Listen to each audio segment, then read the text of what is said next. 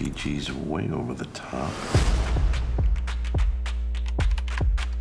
You better be careful. You don't want the best things in your life to happen to your alter ego. Well, right now, my alter ego's on a helicopter about to die.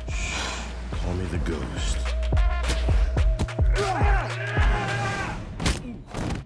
Sorry, Miss Lowenthal. I want to publish your book. It just felt so real. Nonfiction. True memoirs of an international assassin? You said you wouldn't change a word. I didn't. I added one. So people think I'm a hitman? Maybe they do. Maybe they don't. The whole assassin thing, it's BS, right? Well, I could tell you, but then I'd have to slit your throat and watch you bleed out.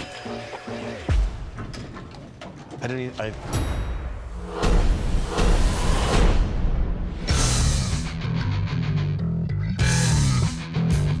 going to kill the president. I promise you, you got the wrong guy. Gotta move on, Cupcake. Why would an actual assassin write a book about being an assassin? It's beyond stupid. I'm gonna get you out of this.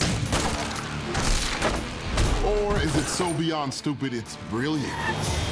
He might actually be the real deal. Well, is he?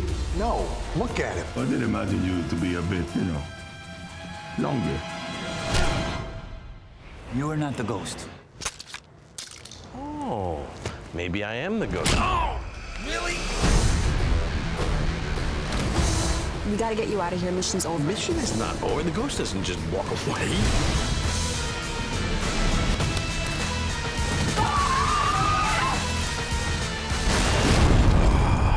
Never bring a knife to a gun. Ah! You brought a knife to a gunfight! Thank you. Call me the ghost. How about I break your finger if you ever shush me You again? popped my knuckle there. Oh.